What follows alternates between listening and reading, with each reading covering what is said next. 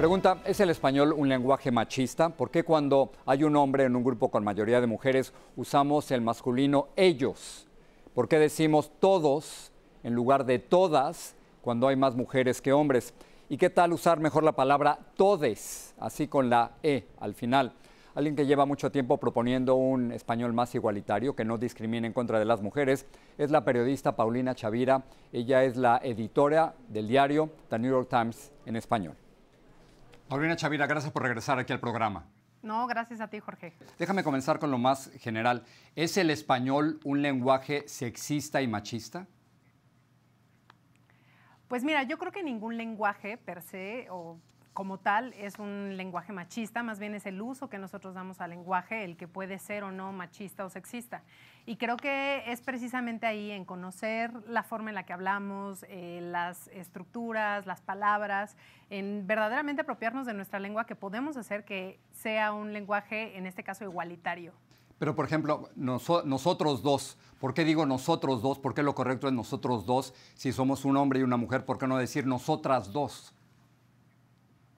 Claro, bueno, esa es una de las, de, digamos, como de las, de las peticiones más fuertes que hay en cuanto a empezar a utilizar un lenguaje igualitario que es no tomar el masculino como el genérico. ¿no? Nuestro, nuestro idioma, como muchos otros, eh, toma al masculino como el, genérico, el que vamos a utilizar para referirnos en plural a un grupo de personas sin importar cuál sea el género gramatical al que nos estamos refiriendo, que no es lo mismo que el sexo ni nada. O sea, el género gramatical, una palabra puede tener un género femenino, un género masculino, y esa es, digamos, la diferencia que tiene el español, que no tienen muchos otros casos. ¿no? Tienes varias propuestas, déjame ir con algunas de ellas.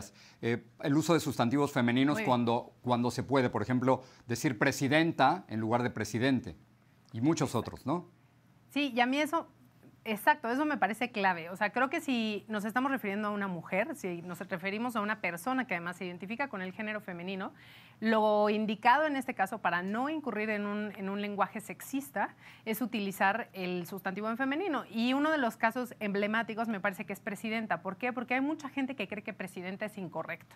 Porque pensamos que al, terminar, al tener esta terminación de ente, debe de mantenerse con la E, ¿no? porque de alguna u otra forma E no estaría marcado. Sin embargo, hay algunos eh, sustantivos que sí han, eh, digamos, se han desarrollado como un sustantivo femenino. Por ejemplo, decimos la clienta, decimos eh, la dependienta y también decimos la sirvienta, ¿no? Digo, no es, este, no es algo que se utilice mucho, pero antes sí se utilizaba la sirvienta. Y entonces debemos usar presidenta, al igual que música, física, médica, ingeniera, pilota, fiscala. Exacto. Árbitra, por ejemplo, ahora que, con que acaba de pasar el, Mundial de Fútbol Femenil, árbitra, portera, delantera, este, pilota, como acabas de decir, que nos suena quizá muy raro, pero también debemos entender que son cargos que muy recientemente o profesiones se desempeñan por mujeres, antes no se hacía. Entonces también nos puede sonar extraño, pero creo que sí es una cuestión de, costumbre, ¿no? De, que sigamos escuchando. debemos reemplazar la O o la A por la E, por ejemplo, en lugar de decir mexicanos, decir mexicanes. Ajá.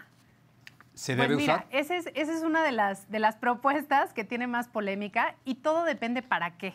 Eh, en inglés, apenas, hace poco, hace unos años, no es, no es algo muy de mucho tiempo, eh, empiezan a utilizar el they, que es el pronombre eh, plural de la tercera persona, lo que en español para nosotros sería ellos o ellas, empiezan a utilizar they en singular para referirse a las personas que no se identifican con uno de estos dos géneros. Entonces, eh, por ejemplo, eso fue una de las, de las disyuntivas a las que nos tuvimos que enfrentar cuando estábamos traduciendo un artículo que sacó de New York Times sobre las personas que no se identifican con un género binario.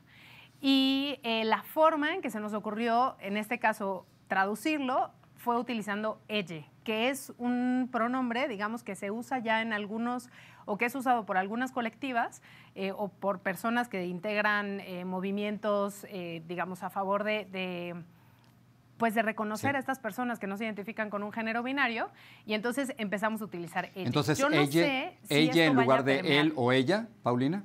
O sea, yo diría, ella fue, ella nadó, ella comió, en lugar de decir él comió o ella comió.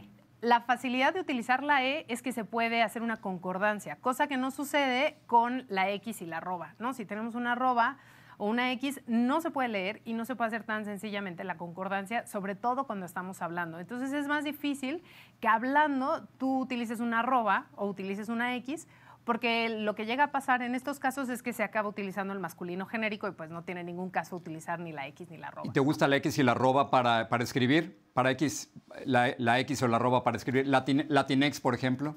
Ajá, a mí no me encanta, ¿no? Pero, este, pero la respeto, o sea, respeto que se use y sobre todo que se use en... Eh, en, ¿cómo se llaman? En, documentos gráficos, ¿no? O sea, en lo que sea visual, en lo que no necesite una lectura, y era lo que te decía, si tú estás platicando es muy difícil, quizá un poco por la influencia del inglés sea más fácil decir latinx o latinex, sí. no sé, de hecho ese es una, este, un debate que tenemos de cómo debemos pronunciar en español latinx o latinex.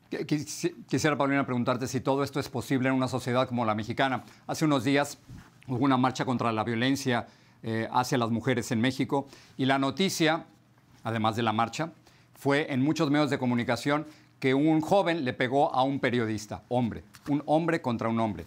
¿Qué está pasando en México? La verdad es que sí, claro que hay violencia contra todos. Eso de que, de, que precisamente la noticia fuera que un hombre golpeara a otro hombre, creo que también nos habla del nivel de violencia que existe en, en, nuestro país y que además también es muy, a veces ya se normaliza tanto que es, es es terrible. O sea, es pensar que, que, pues esto puede suceder en una marcha y, y, en una marcha que además, aunque, aunque se quiera pensar lo contrario, era una marcha bastante pacífica. Entonces, Paulina, si, tú lograste, y, y, a lo mejor te estoy atribuyendo un triunfo que es colectivo, pero si tú lograste que muchos en México le pusieran una tilde a México y que en las mayúsculas usaran tilde, ¿crees que tarde o temprano eh, utilizaremos ella en lugar de él o ella en México y que eso genere un cambio para una sociedad más igualitaria en México?